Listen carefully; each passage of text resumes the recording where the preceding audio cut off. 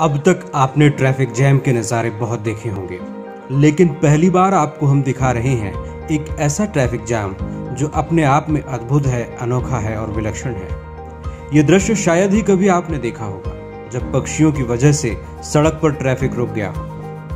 ये नज़ारा शायद हम अपनी ज़िंदगी में कभी नहीं देख पाते, यदि लॉकडाउन न होता। लॉकडाउन की वजह से इंसान पिंजरे में कैद हो गया और पिंजरे बने जंगलों से निकलकर पशु पक्षी सड़क पर आने लगे।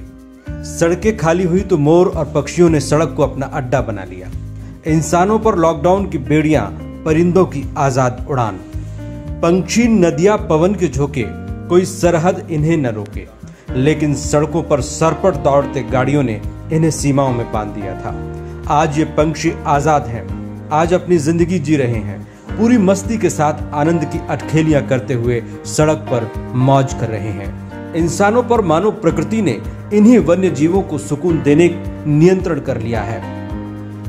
हरियाली से लबरेज पर्वतीय वादियों की साफ़ सुथरी आबोहवा परिंदों के लिए बड़ी माकूल साबित हो रही है। जंगलात की ओर न सैर सपाटे पर निकलते लोग हैं, न वाहनों से उड़ता धूल धुआँ ऐसे में जो परिंदे लंबे समय से दिखाई देने बंद हो गए थे, अब वो नज़र आने लगे हैं। इन दिनों उनका दीदार और कलरव रूपी तराने वैश्विक महामारी से निपटने को लागू लॉकडाउन जनित तनाव में आत्मिक सुकून दे रहा है। सुखद पहलू ये भी है कि कोरोना से जंग के बीच लॉकडाउन की पाबंदी ने वन्य जीवों के शिकारियों की जंगलात में घुसपैठ काफ़ी हद तक कम कर दी है।